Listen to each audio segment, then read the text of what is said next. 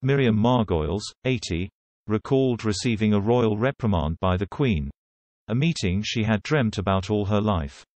In her new book This Much Is True, the Harry Potter actress discussed her one and only encounter with Her Majesty, who told her sharply to be quiet.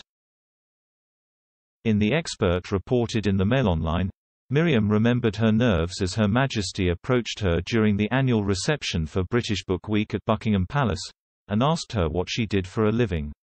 That was where I made my first mistake. Meeting the royals does tend to make people daft, she sighed.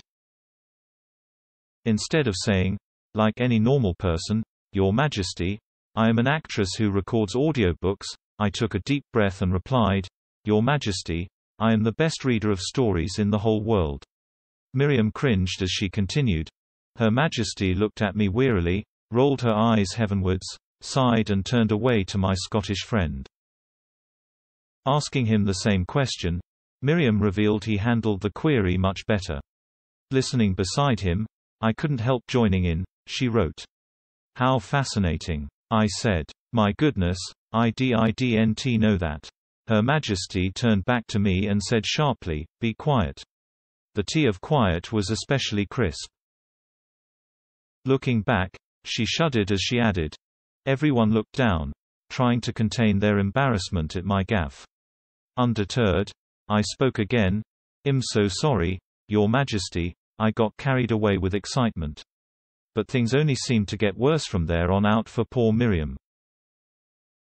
Noting the Queen rolled her eyes again at her explanation, she remembered she started talking about how that morning she had visited a London school and been fascinated by the way English literature was taught there.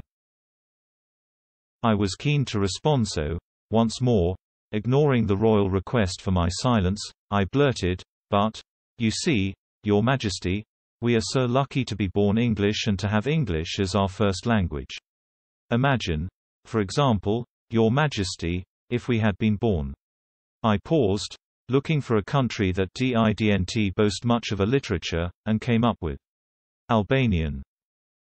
Realizing she had stepped into political territory, the BAFTA-winning actress believed it had become all top much for Her Majesty. Alarm crossed her face and she moved away. Anxious to put some distance between herself and this clearly crazed woman, she winced. Clutching the handbag even more closely and murmuring, Yes, yes to herself, she disappeared into the throng.